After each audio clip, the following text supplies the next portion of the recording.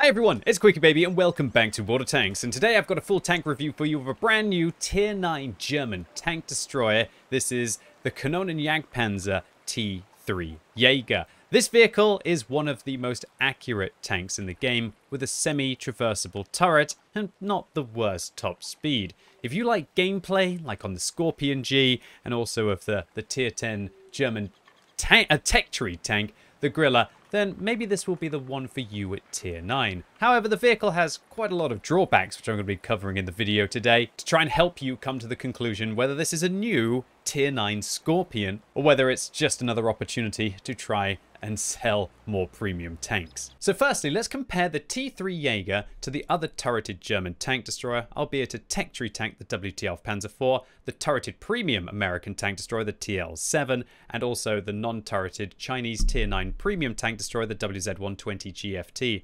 Immediately, the damage per minute on the T3 Jaeger is very disappointing, significantly worse than the WTF Panzer IV and the WZ-120 GFT. And while it does better than the TL7, remember that thing has an autoloader, meaning it could do some pretty nasty burst potential. Now that is because this vehicle has a 120mm caliber gun with 420 alpha damage, which pales in comparison to the 128 with the 560 on the WTF Panzer IV and the 560 for the 130 on the WZ. This means this thing doesn't hit hard, and really it doesn't hit that often either with that poor reload for 120mm. It also means that you're not going to be able to overmatch 40mm plates in this tank, which can be really annoying against something like an STRV, uh, 1030, or just trying to overmatch tanks roof decks, which the WT and the WZ-120G can achieve. To add to this, the penetration is less than the other two tanks in this comparison, and when we compare the gold rounds, it has 326 millimeters of pen, which is way worse than the 340 heat that the WZ gets, and way, way, way worse than the 352 that you would get on the Waffenträger auf Panzer IV. Luckily, however, the vehicle carries more than enough ammunition, and its shell velocity is 1,210, which makes it very proficient, proficient at sniping, like the WTF Panzer IV. So all in all, the firepower on this tank is very disappointing. However, the gun handling is not. Look at these legendary statistics. 1.6 seconds aim time, amazing. Won't have to aim for very long before you're fully accurate. And look at the max accuracy. 0.28 is one of the best accuracies in the game. And if you're so inclined, you can further improve this with the field mods. The movement dispersion actually is the only bad aspect of this tank. 0.3 when moving and turning the tank, so you definitely want to have smooth ride on your driver. But look at the turret traverse dispersion. 0.06 is incredible, meaning that you pretty much don't need snapshot on this tank. And as long as you don't turn the vehicle and you only use it semi-traversable turret 30 degrees to the left and 30 degrees to the right, you aren't going to have to aim for long. To cap it all off, this vehicle has 7 degrees of gun depression, a lot like the Grille, which gives it a significant advantage on the WTF Panzer IV and the WZ-120 GFT, meaning that it can be more flexible on a ridgeline than those two tanks. So, horrible firepower, some of the best in class gun handling. What about the mobility? Well, 45 forwards and 18 backwards, so it's definitely not slow. It is significantly faster than the WTF Panzer IV, although I'd say all in all it is slower than the WZ-120 GFT, which gets better ground resistances and a much better well, not a, not that much better of a top speed of 47 and 20 backwards. The traverse speeds on this vehicle are not bad. 30 degrees on the turret means it is quick to turn, and when you combine that with that wonderful turret traverse dispersion, uh, you can quickly get your gun on target. And then the aim time and the accuracy to be able to quickly re-engage tanks. Of course, you have to worry about the limited gun arc, so you don't want to turn the hull and get that horrible dispersion. But as long as you plan, you've got a nice wide gun arc to be able to cover a variety of areas. Uh, the power to weight ratio on this tank is also impressive, allowing you to get up to that top speed limit. And all in all, the mobility, it's decent. It's not a fast tank destroyer, for sure, but it is decent. So what about the armor on this tank? It's kind of like pretty good news so far for the gun handling the mobility. Well, the armor sucks. There's no other way to say it. 30 millimeters of hull armor is truly horrific for this tank. That means that all 91 millimeter caliber guns and pretty much every single heat round is going to overmatch this vehicle. Uh, so you're going to stand no chance of ricocheting anything off the hull. And the turret is really not much better. Its mantlet is not good.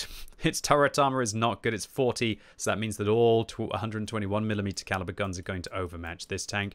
And even high explosive rounds will be challenging this vehicle's hull very, very easily. This is a glass cannon of glass cannons, and tanks with good HE pen are going to laugh at this vehicle. It has some of the worst durability in the game, but luckily it doesn't have the worst hit points at 1650, but they're not going to last long with every single shot you take pretty much removing those hit points. Interestingly as well, this tank has the worst camo rating in this comparison, but not by much. The moving camo, however, is actually horrific compared to the WZ-120 GFT, and it's even worse than the WTF Panzer IV, so this thing isn't really going to be getting anywhere sneaky.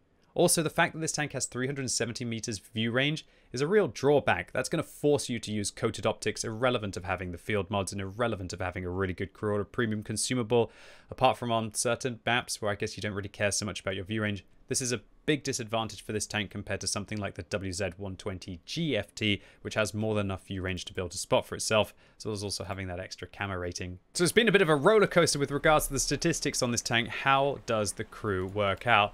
Well, in all, it's, it's again a disappointing crew by Wargaming. I believe this is the first ever German tank destroyer where the commander is also the loader and the gunner is also the loader, which means that if you want to have intuition on a vehicle like this, you're going to have to waste two crew slots.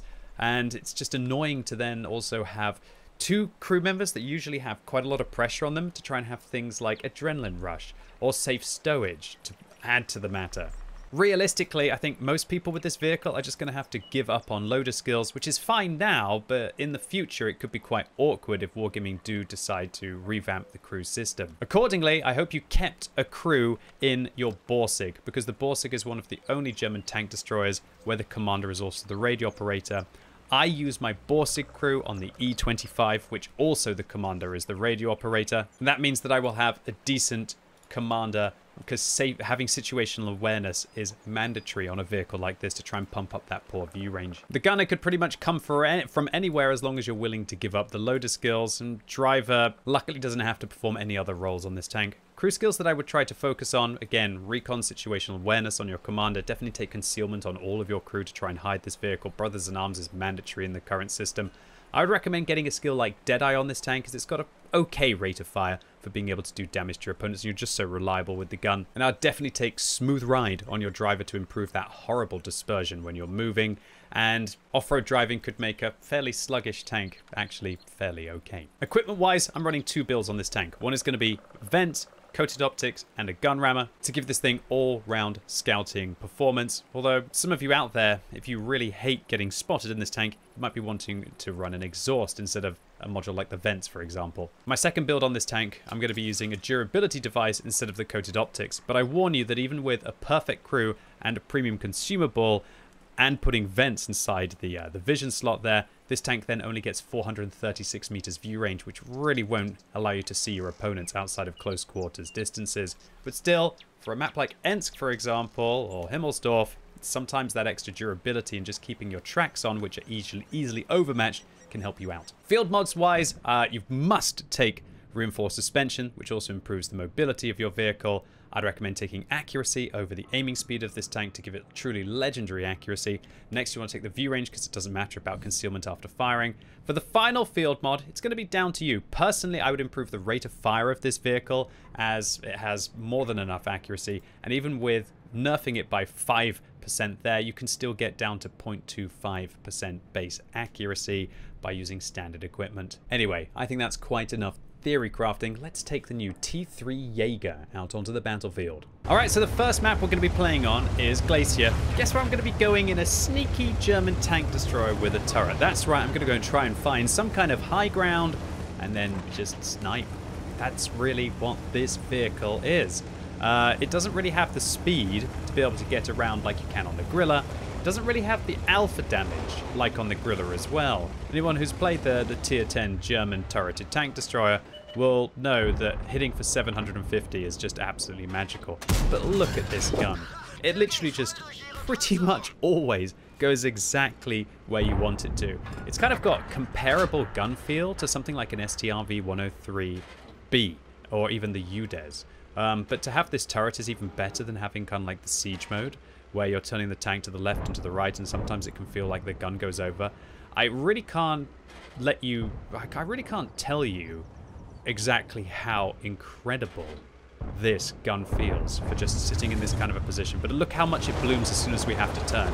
As soon as we have to turn, it gets really awkward. But even with it getting awkward, the aim time is still really nice. And this gives you more than enough freedom to be able to feather your target to try and find a shot through the rocks. And look how, even when we're kind of really moving the reticle around, that it doesn't even really get that much bigger because of that wonderful dispersion on the turret. And so when you're engaging something at long range, and you've got that 0.25 base accuracy with a build, such as this, with the vents, the chocolate, uh, and even making the accuracy 5% worse as you saw in the garage, you can just hit.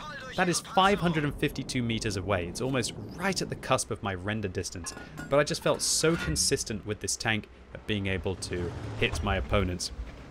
Now, look, this vehicle it's not fast, it doesn't have the best of camo, so you really need to also be relying on your friends to be spotting for you. It doesn't have the best view range, remember, as well. So while you could set up this tank with binoculars, definitely if you're a free-to-play player out there, you might want to drop the coated optics, especially if you're not using a premium consumable or you don't have the best of crews. Because the turret is fairly flexible, and so with binoculars it could end up giving you hyper view range that you might need to be able to spot out. But just look at this gun. We're hitting the Tiger, we're hitting the IKV, and all of these shells, they're not just hitting the target, they are hitting the target cleanly. This truly is a god tier sniper when you get it onto a map like this. But, let me clarify, how often do you end up getting into a position like this in World of Tanks, where you have that opportunity to uh, to really just spot the entire map. But not only just spot the entire map, but actually have a team that is spotting for you when there's no like light tanks and medium tanks that are trying to harass you. Remember, this is a tier 9 tank destroyer. It will meet tier 9 and tier 10 tanks just as much as it's really meeting these tier 7s on the enemy team in this wonderful matchup. Now, I'm going to be completely honest as well. Gameplay like this is not my cup of tea. This is this is not interesting gameplay for me personally. I don't enjoy this kind of a playstyle. I almost feel as if I, I'm too safe right now. But just because it's not exciting gameplay for me doesn't mean that this isn't a playstyle that is immensely comfortable for a lot of the player base and I have to respect people's wishes for tanks. There's a reason why the Scorpion G is one of the most purchased premium tanks and most played premium tanks even to this day. And that is because if you give a vehicle a turret and you give it a nice consistent gun for engaging at long ranges, it just feels so immensely safe to play. You just do consistent damage, and that's exactly what this tank does. However, I would like to highlight that considering what kind of an opportunity we've had, 2,400 damage is not a lot. So while the gun is immensely consistent, it's not firing very often at all. I'd say it's got kind of like tier 8 tank destroyer damage per minute. In fact, one could argue it's actually got more like tier 7 tank destroyer damage per minute, whereas a WTF Panzer IV would be reloading pretty much just as often. It wouldn't have the accuracy, so maybe it would miss one of the shells that we've fired so far this battle, but hitting for 560 instead of 420, yeah, things could uh, definitely uh, up when you're hitting that hard. We've hit six shells this game, unsurprisingly, for the 2,400 damage that we've dealt, considering they've got 400 alpha. If we were hitting for 560 with those six shells, we'd be over like three, even more. We'd be like 3,300 damage that we dealt. And with the seventh, we'd be packing kind of like near a 4k with the damage that we dealt. But this tank's sitting at 2,800. So the damage in this vehicle, it doesn't really add up that quickly, but it is so darn consistent with the way that it adds up. And also, I'd like to highlight that because of the accuracy, you can actually aim for weak points, not only for these like close quarters combat situations, but for these long situations like you have seen here. And so you don't need to load the gold quite so often because you don't need to worry about your shell deviating and hitting a turret or hitting the thickest plate instead of hitting one of the thinner ones that hopefully you're aiming at. And so that can just allow you to probably end up saving some credits. Now, the standard rounds on this tank cost 1,125, Although, um, oh gosh. ammo rack durability, evidently not good there. Even though I'm running safe stowage on this vehicle, the very first shot that hits this tank removes the ammo rack. Uh, but yeah, it's it's quite an economical gun, but still I do feel that for the alpha damage, it's quite an expensive ammunition uh, loadout. But I guess if you're hitting all of your shots with pinpoint accuracy, does that even really matter? So we're going to come around the corner, put an easy shot into the lower plate of the CC Mark II. But it's kind of quite alarming that we're just going to get out-traded so hard. So for every game that you, I get into like this, where we really get that easy snipe off at the beginning of the game, and then later on we can start to trade our hit points uh, in close quarters combat because the tanks no longer want to sit out in the open, right? I get into scenarios where it just feels so horrendous to be either caught by something with high alpha damage or to be caught by something that uh, has an autoloader or even just caught by something that realizes they can fire HE through a very flat lower plate. This is an easy lower plate to hit from all angles with only 30 millimeters of armor. It does not go a long way. So all in all, the Jaeger is very good for hunting at long range. But there are lots of tank destroyers that do very well at long range. Does this one really do well enough at long range to justify purchasing it as a tier 9 premium? And that's kind of a decision that only you're going to be able to make. Okay, so no more damage in this round. We've seen how the vehicle performs in its environment, in its element, where it's simply just dumping at long range very comfortably. Why don't I show you a couple more situations where this vehicle feels like it struggles a little bit more. All right, so now we're rolling out on Ensk, and I'm going to be getting rid of those coated optics and instead taking a durability device. We see that puts me up to 1,790 hit points, which is pretty darn good for a tier 9 tank destroyer. But remember, it's only truly our hit points that are going to be keeping us in this, as we don't have very good armor at all. So I'm going to make a little bit of a sneaky play here and try and use a bush that I haven't used too many times in World of Tanks. And look at this accuracy. We're going to try and go for the side, maybe not. I'm not sure if he was firing at someone behind me or if it was just painfully obvious that there was somebody in a bush here. Nevertheless, nice blind fire by the Chrysler. Uh, and I think the Chrysler's packing 105mm caliber gun, so that's going to be overmatching pretty much most of my tank. But oh, a rare miss for this vehicle. It deviated, went left. We didn't hit the lower plate on the Chrysler. But still, a good enough rate of fire on this tank to be able to consistently harass our opponents. And with a turret like this, it does feel very comfortable for going into a bush and falling back. Kind of feel more like a medium tank within that regard. And this would be a very good gun to have on a medium tank. Kind of like similar to the uh, Leopard prototype within that regard. Uh, with only having AP rounds instead of APCR. But the AP rounds on this tank are pretty much as fast as the APCR rounds that you'd be getting on the Leopard prototype anyway. So not a bad start now, up to 900 damage with a little bit of spotting, and this Chrysler doesn't seem to want to come around the corner anymore. And honestly, gameplay like this is going to make and break whether you do well in the T3 Jaeger or the T3 Jaeger isn't your best friend. Because anybody can sit at a good distance and play the point and click adventure.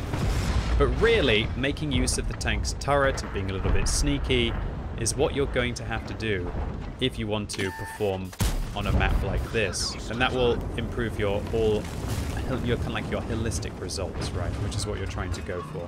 And in these kind of situations, boy does it feel nice to just have that accurate gun and be clapping at these mediums.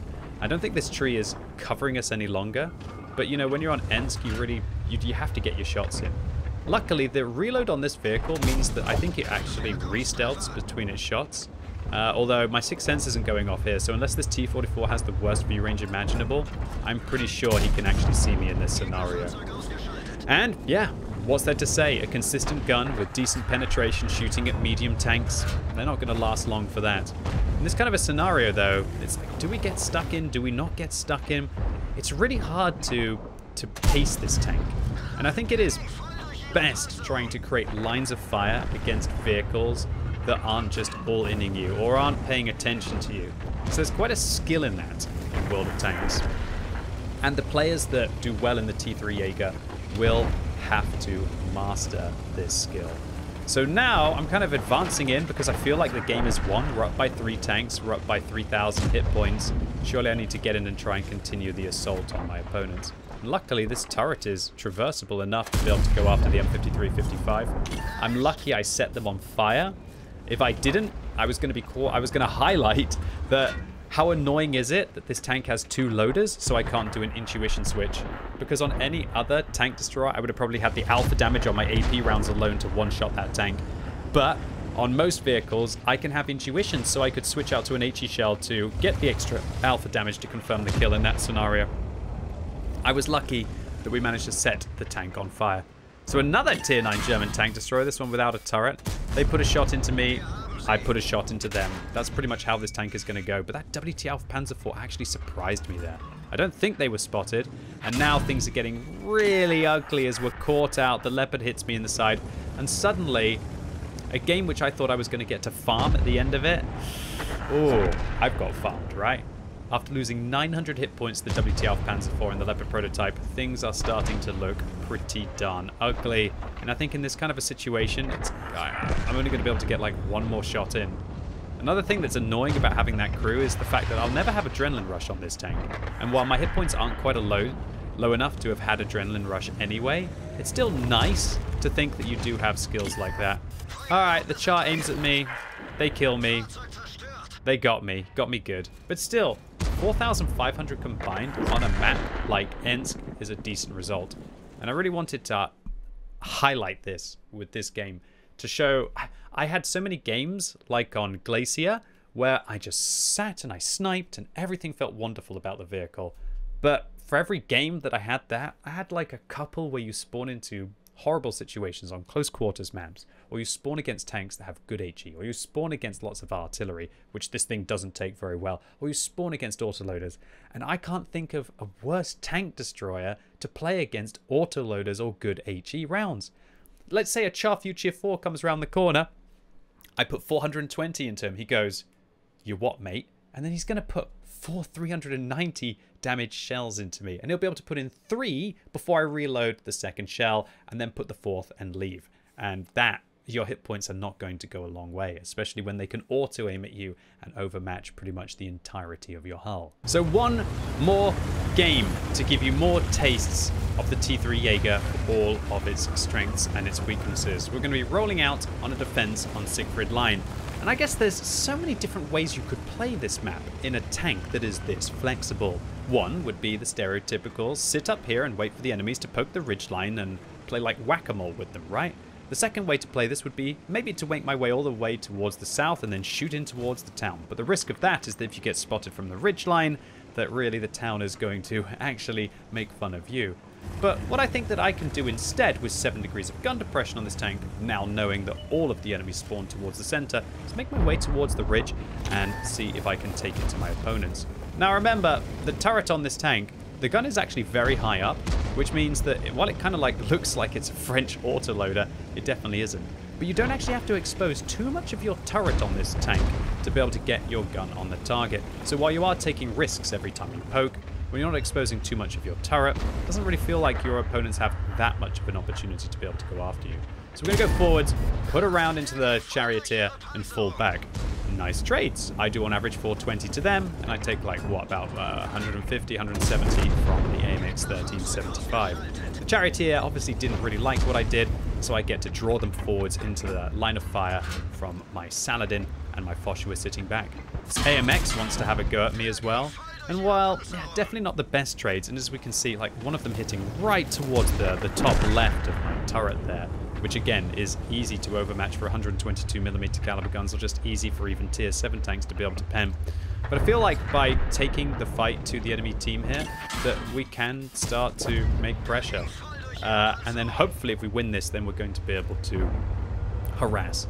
Plus, in this game, as you're going to see, the Kampfpanzer who on our team uh, is very good. And so honestly, if I didn't push forwards, I would probably still be sitting up on that ridge line. And we can see that the Foch actually decided he, he, he made the right call, which was to push as well.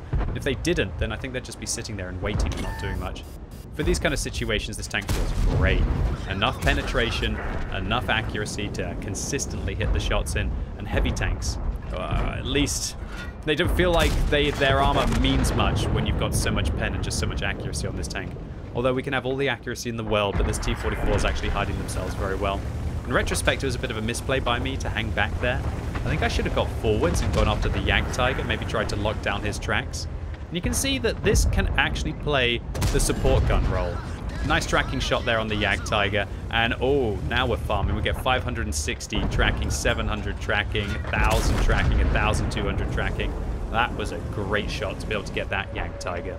And it, this is kind of a situation of I'm actually shooting other tier 9 German tank destroyers, but I can I can shout at them, get a turret noob. We managed to hit the tracks once again there on the Jagdtiger. So we get another 365 tracking. So from a like a marks perspective, this is actually turning into a pretty good game. This was one of the fastest Radley Walters medals I have ever seen. Looks like this Kampfpanzer has been shooting at the right time uh, to be able to pick up these kills. I have to admit, I I think that the Kampfpanzer might have been holding a few of their shots. Or maybe, you know, the stars are just aligned and when you've got a great rate of fire like you have on the Kampfpanzer, maybe that's how it works out. we'll see. Is he holding? Is he holding? No, to be fair, he didn't hold there. I almost think he was thinking about it, but he didn't truly hold for the, uh, the Pershing. So I think I'm going to say something a little bit cheeky to him. Maybe, possibly, we'll see. Uh, hopefully we can hit the G-Saw here and just so nice and consistent. Half decent. So it doesn't look like the Kampfpanzer is actually holding their shells, as they do manage to... Uh, they don't... doesn't look like they hold for that, or maybe they're just not holding well. Are they holding here, though? it's tough. He did hit just after after a tank got him. And so I think I'm actually going to say something. I say, those kill steals, XD, I see you. And um, unfortunately, wasn't able to get the Pool's Medal. It puts F in chat. I guess maybe he really wanted the Pool's Medal. 5,000 damage dot dot dot. What's that meant to mean? 5,000 damage for 9 kills? What, 450 alpha damage a shot or something? Or should I say 550 alpha damage a kill? I don't know even know what the 5k means, bro, because I got 2 with 4,500. But I digress. I'm getting distracted from the point. This is a T3 Jaeger tank review, not QB spots somebody who's, who may or may not have been holding shots for kills. And what we saw in this game is that this vehicle is fairly proficient at being a support gun. And it is not enough in this tank to just sit and snipe, no matter how good the vehicle is. You have to think about getting forwards with your advance. It has enough mobility to be able to do so. It's kind of like a slower medium tank within that regard. And while the gun isn't going to win you any prizes for having great alpha or great damage per minute, when you're so accurate that you hit all of your shots, it still adds up. And so while you might not be the wild child that goes and picks up 9 kills for the 4,800 damage like the Kampfpanzer did, you know, we'd be a little bit behind them on damage, a significant amount behind on kills, but we're still plodding on. And remember, this is a tier 9 premium tank. It will make you a lot of credits, as long as you are not bouncing gold. So to conclude, the T3 Jaeger is the first tier 9 premium German tank destroyer and I think because of that there'll be a lot of interest in this tank. I can tell you that I think it's very balanced. I don't think it's going to be destroying any games that it's in and I think it's a nice meaty tank for a variety of vehicles to have a lot of fun shooting. But still, from my catchphrase back in the day when the Scorpion was so immensely popular, I would always be saying it's always a Scorpion because you get hit by them quite significantly from long range. However, with this vehicle having less firepower than the Scorpion and less alpha damage at a higher tier, it's not going to be so annoying as a Scorpion, I feel, but just don't expect to be dodging many shells when one of them is firing at you. At least, if you are, it won't be the tank's fault. It's going to be a user error. And so, uh, do I think this is the new best tier 9 tank destroyer? At least premium one?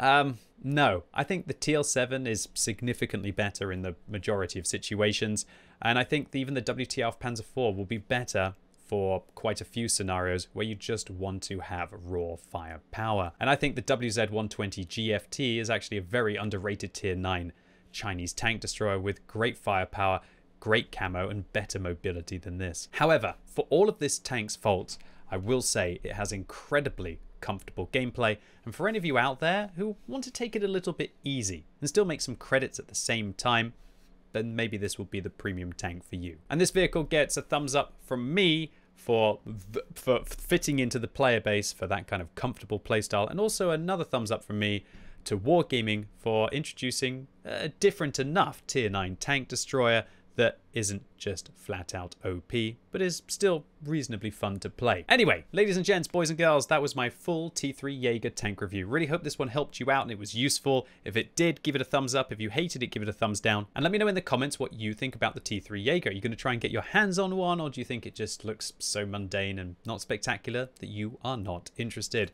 And if you're watching this video as it goes live on Monday, I'm going to be going live all day on twitch.tv forward slash quickybaby playing the brand new tanks, as well as also giving out more drops with Twitch tokens so you can get a variety of cool rewards. So come along and see some live gameplay in the T3 Jaeger and the Jagdtiger prototype so you can see if it's any good when I'm not just cherry picking my games. So really looking forward to seeing you all live right now on twitch.tv forward slash quickybaby. And as always, thank you so much for watching. You've been epic and hopefully I'll see you soon.